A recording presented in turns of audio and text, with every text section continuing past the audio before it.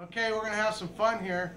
I have this bad feeling because I already got played with, but we were looking. Now, sometimes I don't know what it is, but sometimes when a snake doesn't have all fertile eggs, she's got some infertiles in there. I swear they're not as mellow. Uh, we're gonna try to carefully get her eggs away without any big issues. Oh, so let's see here. Come on, girl. I, told, I said she was tame a minute ago just because she's just overprotecting her eggs. See, she's got a weird clutch. This is a. She's got like. I'll show you what I'm talking about in about one minute. If I can do it without getting bit. Come on, girl. Tim's over there in the background laughing. See, look at this. Just like a jelly thing or something. And the funny part is, one of her sisters had this one time, and she was exceptionally grumpy when I pulled her eggs. Matter of fact, if you watch our YouTube stuff, you'll know what I'm talking about. Because that one got me. And actually, she did too. She just caught me in the arm, but luckily, it didn't do anything because it was, oh, there's some blood. it didn't do much. so, yeah, that's weird. Check this out, Tim.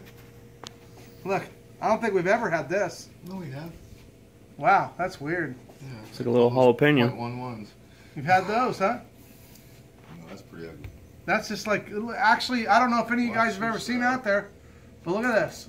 Oh, That's probably last year's slug or something. Yeah, that's never even, I've never had one of those, my side, that I've ever seen.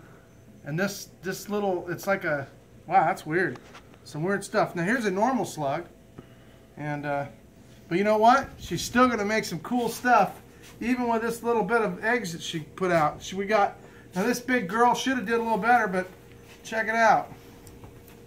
We still managed to get some cool stuff here. Another one. That's weird. Another one. Yeah, that's some weird stuff. So there's Little still some beautiful eggs. It's weird. She's gonna light you up. So we still got 2, 4, 6, 8, 10, 12, 14, 15. So what do you guys think? Would this scare the heck out of you to play the snake like this? That might, those might be white sun gold. or white golden stripes. That's what we're hoping for is a brand new snake. Now obviously, by the end of this thing you might see some blood, but let's hope not. They're not always this grumpy, but this one's this one's not very nice anyway.